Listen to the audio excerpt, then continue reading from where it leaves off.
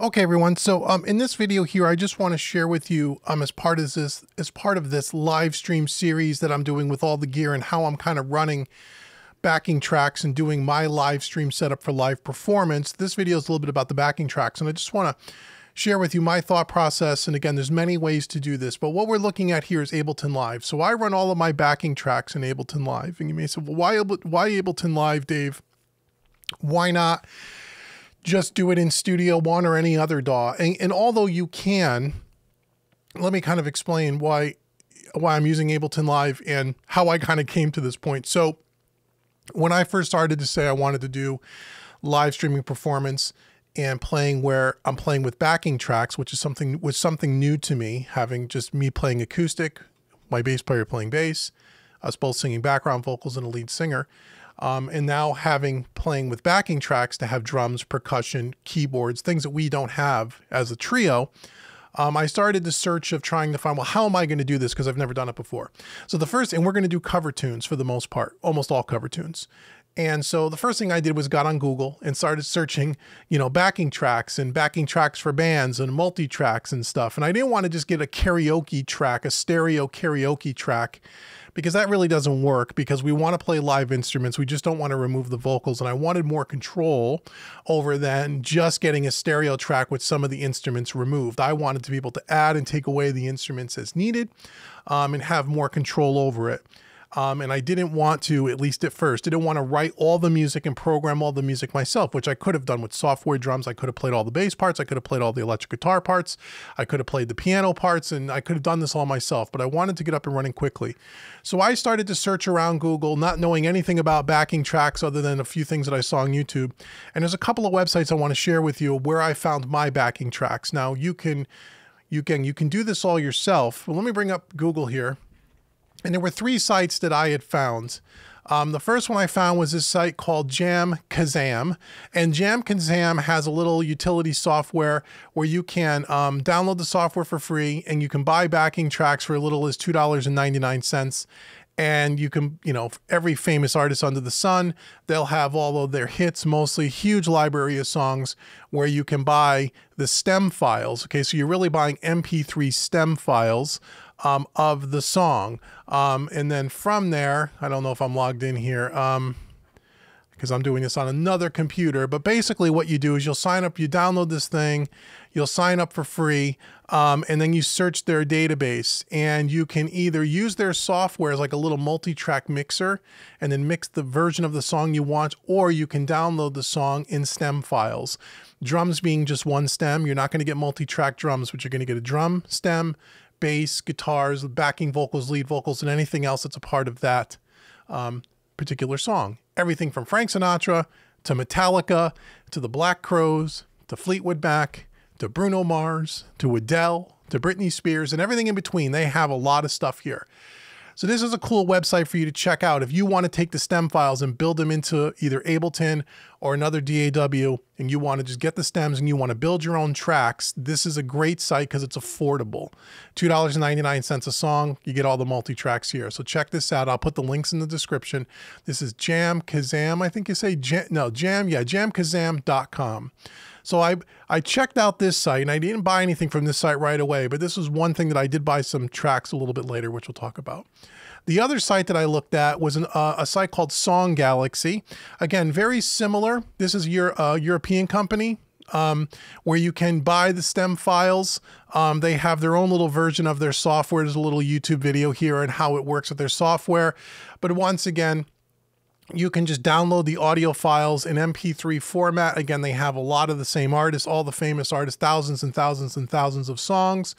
You can buy the stem files and you can load them into your DAW of choice, or if you're an Ableton user, you could bring them into Ableton yourself. Um, again, this is um, you know very affordable way to do it. And again, songgalaxy.com is another site that you can check out. But I also found this site in the and the one site that I found, and this is what turned me on to Ableton, to be honest with you, is a site called backingtracks.com.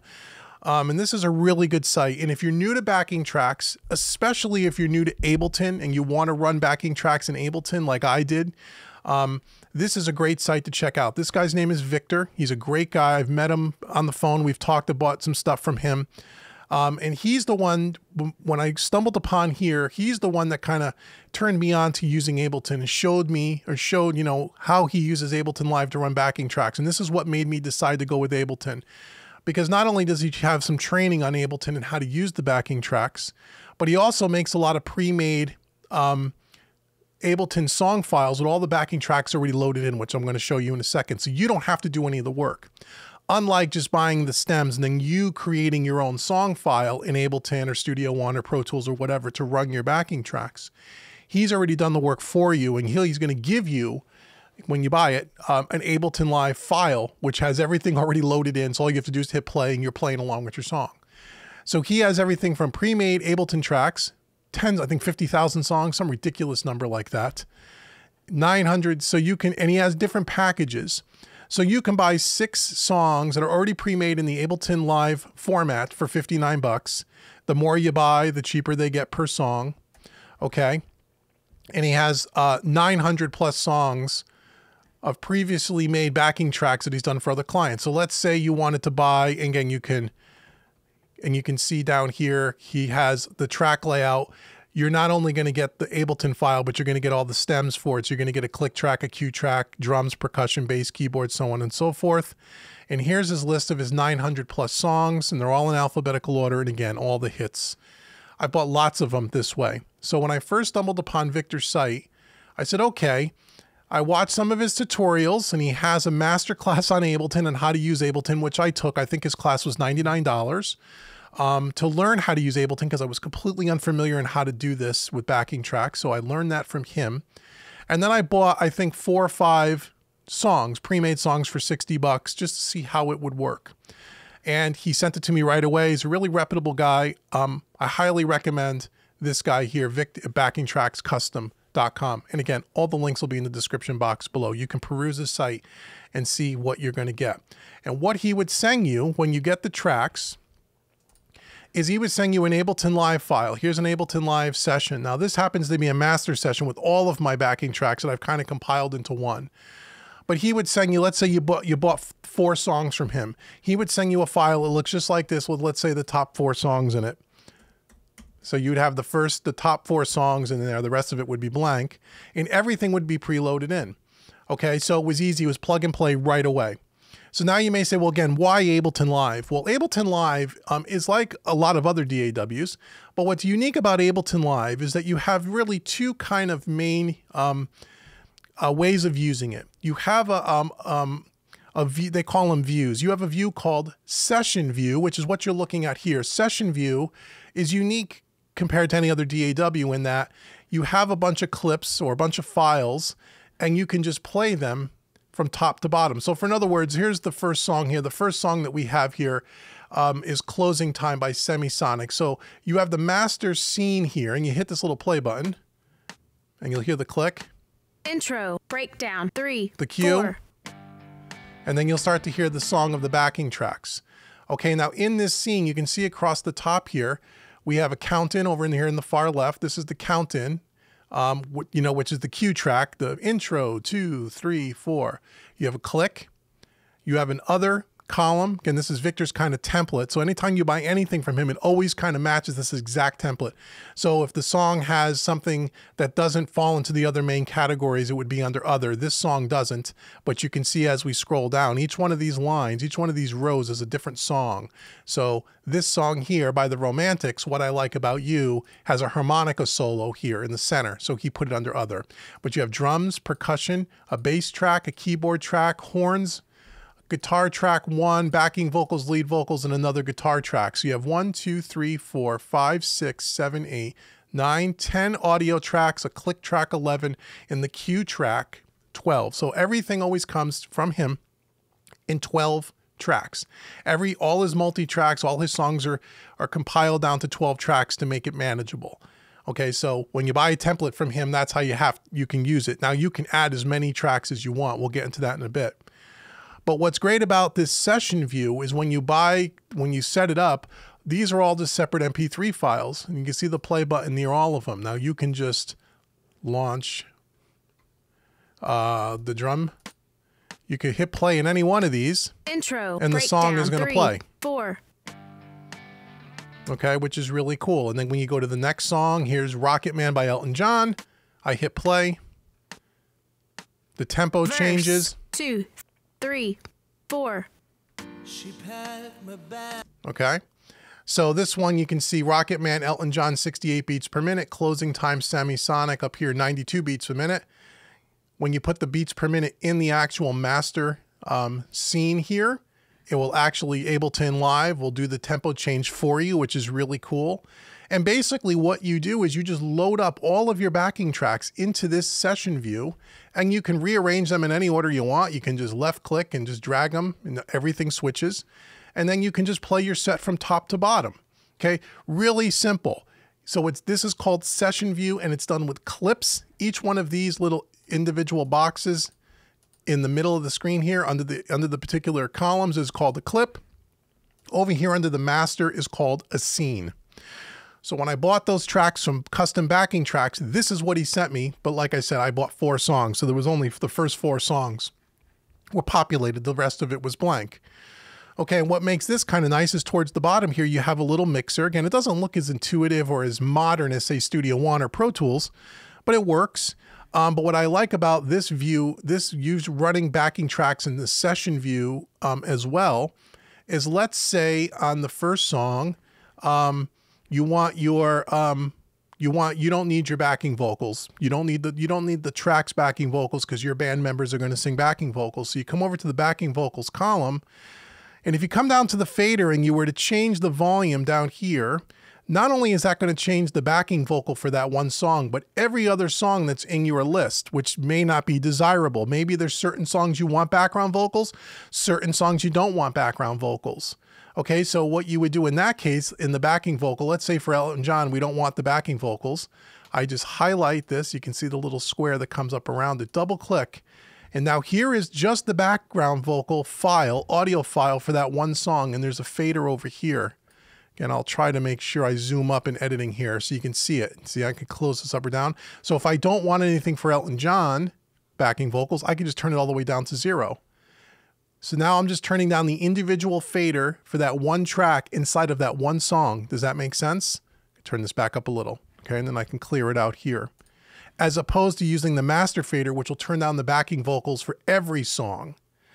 Okay, so inside of session view, you not only have it really easy with just clips and you can just play the set from top to bottom, but then you can also control the individual volumes and you can kind of pre-mix, if you will, each individual song so everything kind of sounds like it's at the same level.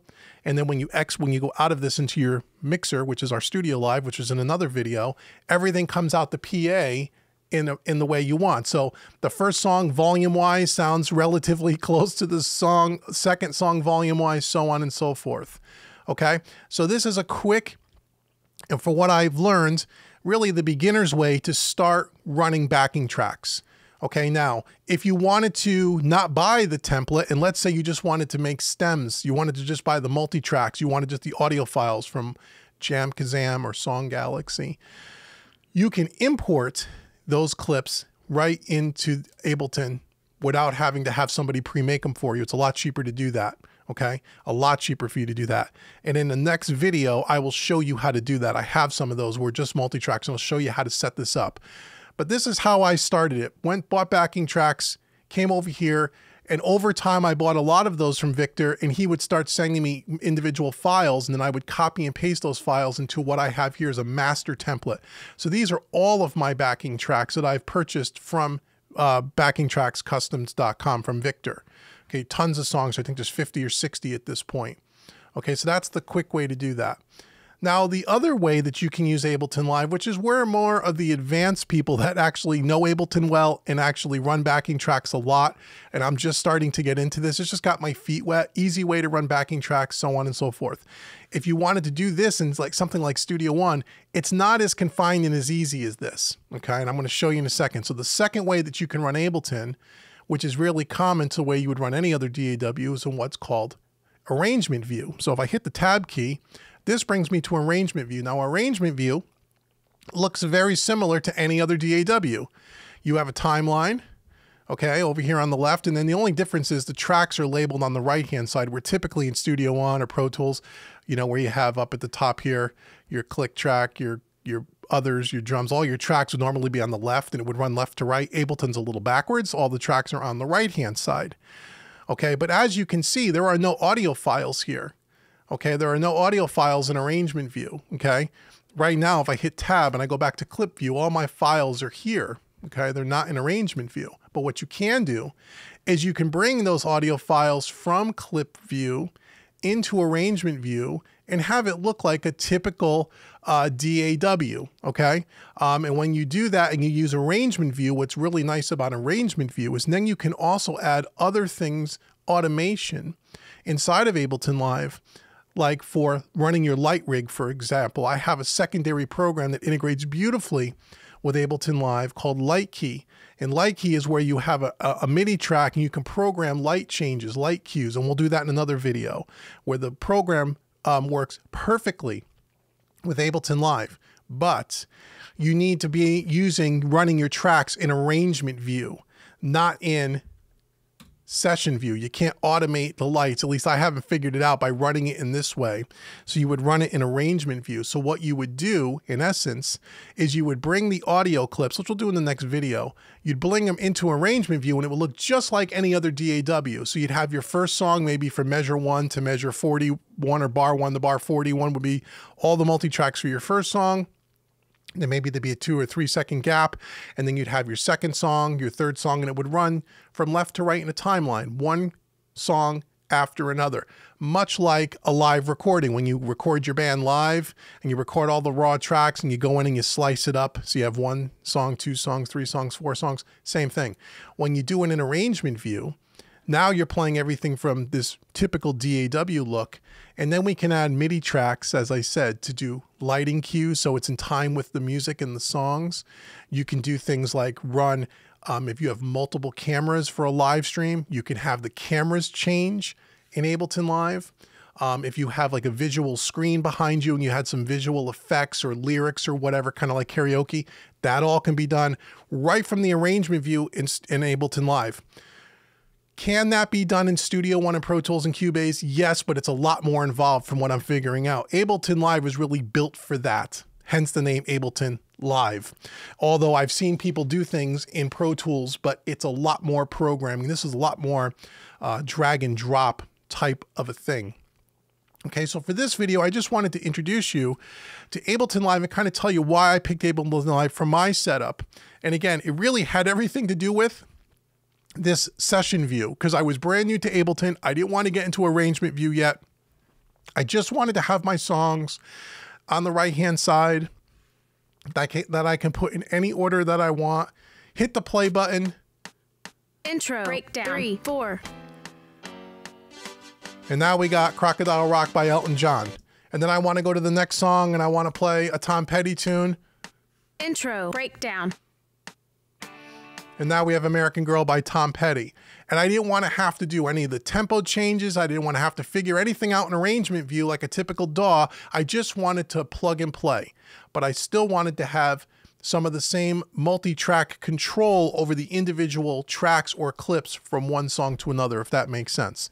So that's what I'm learning about Ableton Live. Now that I'm getting more into this, and I'm going to show you in the next couple of videos how I program my lights and stuff, now I'm starting to learn about arrangement view. And what I'm what I'm actually in the middle of a project, again, I'll shoot another video to show you part of this, is I'm actually now taking all these individual songs and I'm actually getting them into arrangement view. Every single song is going to have its own Ableton file so you'll only see the top song, everything else will be blank, and all those files will not only be here, the clips will not only be here, but they'll also be in arrangement view as well. So I can then program all my lights, program all my camera changes, or any other automation I want to do. And if I have 50 songs, I will, in essence, have 50 um, Ableton Live session files, just like a Studio One file.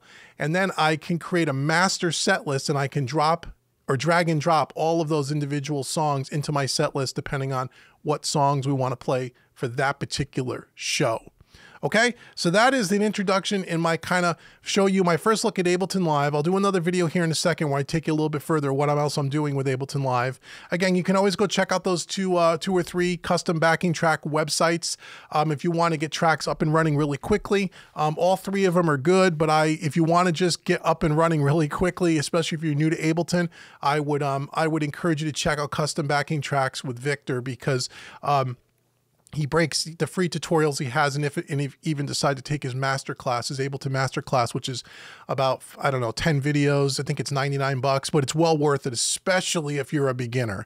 He'll get you up and running with this stuff very very quickly. That's how i learned it and i knew nothing about ableton and you can buy a couple of tracks from him to get yourself started and once you get your feet wet in ableton you'll be able to start to learn it and figure out well what else is possible and what else can you do that takes you beyond the basics and that's what i'm going to be showing you in the next few videos because that's what I'm starting to learn now too because I'm starting to get better at Ableton Live as well. So I hope you enjoyed this video. Again, click all the links in the description box below. Let me know what you think and if you use Ableton and uh, what do you do for your live streaming or what do you think about this video? Um, again, I'll be doing more as part of this series and I'll see you guys uh, soon. Okay, thanks. Take care.